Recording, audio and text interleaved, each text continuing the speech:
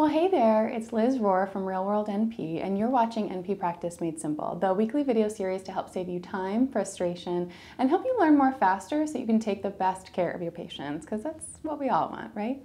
So, today I want to talk to you about high calcium. I know lab interpretation uh, as a new grad is really confusing. It was for me, um, and it's definitely coming up as a topic for uh, a lot of new grads that I've talked to. So I want to focus on calcium today, high calcium, and really break it down into three simple steps of investigation and workup. And I'm going to do it by using a case study, a really interesting case study of my first year. Quick note is that I want to keep it interesting, concise, and brief because I know that you're really busy. So it's a little bit of a longer video today, but I've really kept it straight to the point without any fluff. So I hope it's really helpful. One more quick note is that it is a case study and patients are not one-dimensional, so that there are many moving parts to this case. I'm really gonna focus on one aspect of it and touch on some of the other management aspects. If there's a topic in particular that you wanna hear more about, definitely leave me a comment below with the topic or question that you have, and hopefully I've made it um, as clear and concise uh, as I can. So without further ado, I'm going to share my screen with you. All right, so let's get started. So this is the hypercalcemia case study. We're going to start with Laura. She's 36 years old. She's a new patient to the clinic. The PHI personal health information has been removed. This is not her real name or her photo. She's a little too happy, uh, unfortunately, based on her clinical scenario. But no, that is not her. So um, Laura is a 36 year old uh, female, new patient to the clinic. She's there to establish care. She has never been there before. She's coming from a different clinic. She got her health care at a different clinic a couple years ago. So she's actually here for an ER follow up. She had a DVT and it's her first one she's ever had. She's on a Lovenox bridge until she's therapeutic with her Coumadin with a goal of INR 2 to 3. If you don't uh, know what a Lovenox bridge is or you haven't heard of it before, it's when patients will get Lovenox and Coumadin at the same time until their INR is in within goal, and then you stop the Lovenox um, bridge. So she's a former smoker. She smoked half a pack a day, and she just stopped. Uh, she was a little scared by the DVT, I think.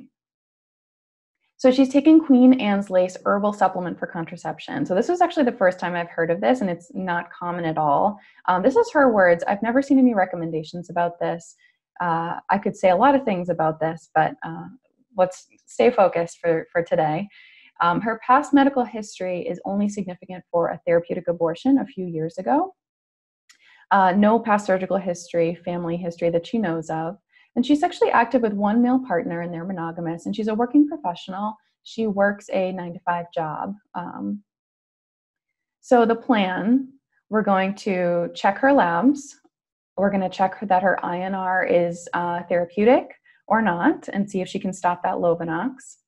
We're going to check a CBC today because we don't have any labs from the hospital and we want to get a baseline hematocrit and hemoglobin because of the risk of bleeding for Coumadin. And I'm also going to get a CMP for her because I want to get her baseline uh, renal and liver function. Most likely it's normal because she's presumably healthy 36 year old female aside from this DVT, but it's it's important to to check that. And I didn't have any records from the hospital. So today I'm going to focus on hypercalcemia specifically, but I'll touch on the other components of holistic care at the end because clearly we're not just focusing on one thing when we're with a patient. So here are her lab results. Surprise, her calcium is high. You probably saw that coming. Uh, so right here, oops, I'm gonna get my little pointer going. So right here is going to be the uh, BMP, basic metabolic panel. Um, you've got your renal function, uh, calcium is high, carbon dioxide, uh, creatinine, GFR, renal function is normal. I spliced it over here with the uh, abbreviated CBC because uh, I wanted it to fit all on one slide, but her potassium is normal, her sodium is normal, and hemoglobin also baseline normal, so that's a good thing in case later we check it and it's lower, she could have a risk for bleeding somewhere because of the coumadin. So uh, platelets are normal, white blood cell white blood cells are normal. Her INR is showing up as abnormal at 2.1 because it's greater than the expected 1.1, but it's actually normal for her, as you saw before. We're looking for a goal of two to three for her coumadin. And another note is that her hepatic panel is also normal. I didn't include it again because I wanted it to fit on one slide, but her albumin, her protein is normal at 3.7, which will be important in a moment. So for hypercalcemia, I want this to be really easy. I want it to be the three steps that you automatically think of when you see a high calcium level. So step number one, is it truly high? So calcium is bound, bound to protein, um, and so you need to correct for the albumin level. So if you have low albumin, you're going to have a superficially low calcium, and vice versa. If you have a high albumin, you're going to have a higher uh, calcium level, which is not necessarily concerning. So you're going to use a calcium correction calculator. On the Ultimate Resource Guide, there's a, a MD Calc is one of the apps that you can download, um, or you can just Google it uh, and see uh, what the actual corrected calcium is. And then the other thing that ex- expert opinion um, based on no randomized controlled trials, but expert level of evidence. Um, and this is kind of consensus. I see this all the time, and, and I recommend it as well, even though I'm not super fond of that level of evidence. It's not as strong as a meta analysis, of course. However, uh, it's recommended to repeat the test and make sure to confirm that this calcium is truly high with another repeated BMP with the albumin or a complete metabolic, metabolic panel that includes the albumin. Or you can repeat it with an ionized calcium, which is a little bit more of a specific test if that's available with your laboratory. It's not at my current clinic, unfortunately, but I have used that in the past. So step one, is it really high? You rechecked it, you confirmed it, it is actually high. Number two is how high is it? And it's actually not quite number two because you have to think about this at the same time as step number one of the is it truly high? Because if it's super high and it's and it's the first lab, I'm going to be more concerned about that and I'm probably not going to wait to recheck it depending on the picture. So just stick with me for a second. So how high is it? So the normal range for calcium, and this is dependent on your laboratory, but typically is 8.3 to 10.3. So if it's greater than 14 with your calcium correction score, or you did a re- you did an ionized calcium and it's greater than 10, and the normal for that is up to 4.9, um, and or they're symptomatic, um, they need to go to the ER because that's really concerning. We should correct that pretty quickly um, with some IV fluids. And a, a, a, quick reminder about symptoms of high calcium that's confusion, feeling thirsty all the time, peeing all the time, you know, dehydration, lack of appetite, nausea, uh, muscle weakness, a little bit vague symptoms, but something to think about. So, is it truly high? How high is it? Is it less than 14? And is it confirmed that it's actually a repeat uh, true high score with the corrected calcium score. Um, and then two causes. So pretty easy here, right? So 90% of all cases, more than 90% actually, are going to be from two different things. 90%, uh, number one is going to be primary hyperparathyroidism. Uh, that's just across the board, that's going to be your number one. And number two is cancer. So that's really concerning. So you should really not dismiss high calcium, you know, 90%, hyperparathyroid and cancer, really pretty easy. Three steps and the top two diagnoses. So, what's next? For her, we've determined it's safe to do an outpatient workup because, again, the first check, it was less than 14 and she had a normal albumin, no symptoms. We called her up on the phone the next day when we got the results and she wasn't having any of those symptoms. Um, regardless, I'm going to advise her of high calcium precautions, um, and that's staying hydrated, avoiding prolonged bed rest, which I'm not really concerned about because she's um, ambulatory. She works, uh, she's a working professional. She's not bed bound. She's not wheelchair bound. Um, and avoiding a super high calcium diet, which is a little bit hard to quantify. But if you can do a quick ask of, like, you know what, are you chugging gallons of milk per day or other high calcium foods, um, that can hopefully be helpful. So, a quick med check this is a quick win in terms of uh, for high calcium does she take any thiazides or lithium, which we know in this case she doesn't. We've done a med rec when she first arrived to the clinic, but hydrochlorothiazide, tons of people take, and um, chlorthalidone as well. Um, and lithium, depending on your patient population, I used to see a ton of lithium. So if you see lithium, that's definitely something to think about. So we're going to start her workup because it's safe to do outpatient. So hyperparathyroid is going to be the very first one because it's the most likely cause. So you're going to start by ordering an intact PTH. The cancer workup, uh, cause number two, most common cause number two, you're going to start that after you roll out the hyperparathyroid because it's just less common and the labs are a little bit more involved. Um, most of the time, in terms of reassuring you that you're not like staying awake at night thinking this person has cancer and that you're missing it, most of the time, calcium is going to be on the higher side, like a 12 or a 13. And it's also going to be an acute increase and it's not going to be chronically high. And a, a note about acuity, if someone is acutely has acutely high calcium, they're more likely to be symptomatic than someone who has chronically high calcium um, in the case of um, you know chronic hyperparathyroidism that hasn't been detected in a while. So don't worry about her. It's okay. So, other causes, I do not want to overwhelm you by listing these, but it's important to know because it's relevant to the workup. Um, so, kind of if you can just start by keeping in your mind the cancer and the hyperparathyroidism, here are some other causes, and it's going to make sense in a second when I show you the algorithm. So, granulomatous diseases, lymphoma, and tuberculosis, not very common, but they can cause it. Uh, vitamin D toxicity, someone's taking a ton of uh, vitamin D supplement. That's really important that you do that supplement uh, medrec when somebody comes in, if they're taking over the counter things, you're kind of getting that out of the history. Multiple, multiple myeloma in my mind, I connect it in the, I lump it in the cancer category. It's a neoplastic process and it's a little bit complicated, but uh, kind of a topic for another day. But um, keeping in your mind that it's a less common cause, but it'll be relevant in a second, I'll show you. And then hyperthyroidism, if you have uh, hyperactive thyroid, you can get high calcium.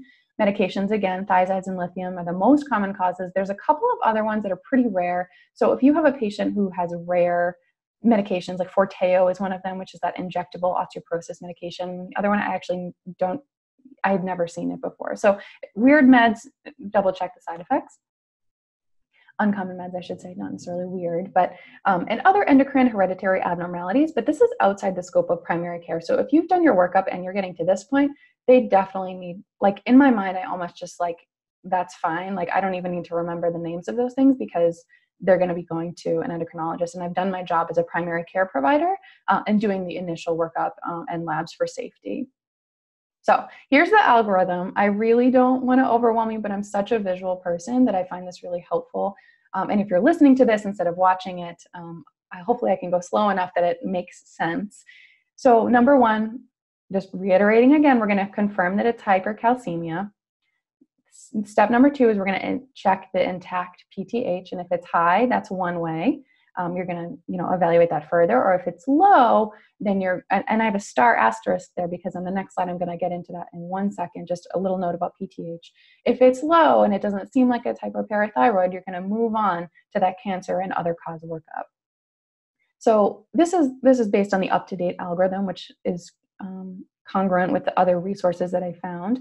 Um, so PTHRP is PTH related peptide or protein um, which is related to kind of a neoplastic process. Vitamin D25 is the active form of vitamin D, and vitamin D125 is the inactive form, which is relevant in just a sec. If you can hold on, stick with me. And then um, if you, the next step after that is to check the SPEP and UPEP and free light chain assay, which is uh, that kind of bottom step where you're moving towards the multiple myeloma. So, so that's kind of a lot of information, but just stick with me for one second. So we're going to move to the workup for this particular patient, Laura. Her calcium is 11.5. So number one, again, in order intact PTH, if you only take one thing away from this is just don't ignore high calcium and check a PTH, step number one. The really important note here that I want to make is that the normal range is 10 to 60 and I'm sorry, I, I, left off the, the markers, um, the units of measurement here, but up-to-date algorithm, which also agrees with other sources, is that high Mid to upper normal range is also considered to be abnormal. So 35 to 65, even though technically it's only elevated above 60. So don't ignore that. So when you're when you're going through your labs and you're looking through the PTH, like don't just scroll over it because it's not a bright red color or a bolded abnormal range. It's still important to pay attention to the actual number. And you can look up that reference range. I look it up every single time. So vitamin D. So for this patient, I ordered the intact PTH, the vitamin D, and the TSH. And I know I just said that the most common causes are the are the PTH and then cancer. So why am I ordering things that are farther down the line? And my kind of a real world point here is that I want to, as a primary care provider, I'm going to order the tests that I can do something about um, uh, in the clinic. And so, but vitamin D and TSH, um, also like just quick wins. Like uh, let's just make sure it's not that. Because the other labs that are in, are, are kind of involved. Um, these three uh, the pthrp i did not order that at the time and i did not feel comfortable ordering that. Again the 125oh and the SPEP UPEP free light chain assay i think four years in and having an internal medicine physician that i work with i'd feel much more comfortable ordering those but for this patient in my first year of practice i ordered those first three um, to start and the other note about that is that because she's a working professional, um, I can go back. I'm going to go back real quick. Um, so if you're looking at this management algorithm, it says step one, there you check the calcium. Step two, you check this lab. Step three, you check this lab. Step four, you check. Like that's a lot of times to come back and get some labs drawn. So for this patient, I just kind of lumped them all together because I don't want to. Number one, I don't want to lose her to follow up because I work in a federally qualified health center, um, and a lot of my patients have kind of tumultuous uh, lives, and it can be very hard for them to get to the clinic. And I also don't just don't want to lose her to follow up, and, and I want to make you know patient centered care, I, holistic care. I want to make sure that you know she's not getting stuck three different times, um, and that she's able to get the the good care that she needs so yeah, so those are my real world notes about that. Is that personally, I started with the intact PTH and vitamin D and the TSH. Now, as a more established primary care provider with like supportive supervision, I feel like I could also order that, but I probably wouldn't order that right away. I'd probably batch it into two different blood draws just to kind of conserve um, resources based on the likelihood. So, so results. Here are her results. So, um, I rechecked the ionized calcium at the same time instead of doing a recheck and, and then coming back again. Ionized calcium at that time uh, was still elevated, so it truly was a, a, high calcium. Her intact PTH is 59. Her vitamin D is, is 40, which is normal. TSH is normal. Um, but yeah, note here, high normal. So she still needs a workup, even though it's technically within the normal range. So let's go back to Laura. She is looking happy still, but uh, she was not at the time. She was a little bit worried and concerned, and I was too. But you know, step one, um, I referred her to endocrine because at that point, the testing that she needed for a hyperparathyroid workup, like I didn't even have access to the type of labs that she would need to do. And so that's an easy place to draw a line as a PCP in terms of specialty versus in house. And I'm certainly not going to do the treatment for it. And hyperparathyroid is its own topic, so I'm not really going to get into that right now, but refer to endocrine. And in terms of her other holistic care, um, because she came there originally for the DVT, I'm going to stop her Lovenox because her INR was therapeutic. I'm still going to manage her Coumadin in house, and you might not necessarily do that at your clinic, but I've got a great algorithm uh, for management um, if you are interested in looking at that. Um, some people go to Coumadin clinics, but it really depends. So, smoking cessation, um, reinforcing, she's already stopped, but we're going to continue you know, you know, that's probably related to your DVT. Uh, we talked about contraception and that I didn't really recommend her to do that. Um, not high levels of evidence, but anyway, longer discussion for another time. Uh, heme referral. So I was pretty uncomfortable at the time, and and I'm getting more comfortable in terms of um, DVT and, and blood clot management. There's a topic with with blood clots of whether this is a provoked or unprovoked DVT, and that determines how long you need to take Coumadin for. And I didn't feel comfortable with it at the time, so I had her see hematology. I probably would feel a lot more comfortable with that now. So at the time, I had her follow up with me in a month. Um, and then three months after that, just to kind of make sure that she was still feeling okay, um, things were going well, uh, and she was able to get connected to the specialist that she needed to go to, the endocrine and the heme. So that's it. Uh, leave me a comment below. I'd love to hear from you. What is the number one takeaway that you've had from this presentation? Um, hopefully, uh, rechecking your calcium and checking your PTH. but uh, but yeah, definitely leave me a comment below. Did you like this video? If so, if you're on YouTube, like it, subscribe, and be sure to share with your NP friends so we can reach as many new grads as possible to help make this first year a little bit easier. And don't forget to sign up for the email list at realworld, realworldnp.com. You'll get these videos straight to your inbox every week with little notes from me and some bonus content that I just don't share anywhere else. Hang in there. Thank you so much for watching, and I'll see you next time.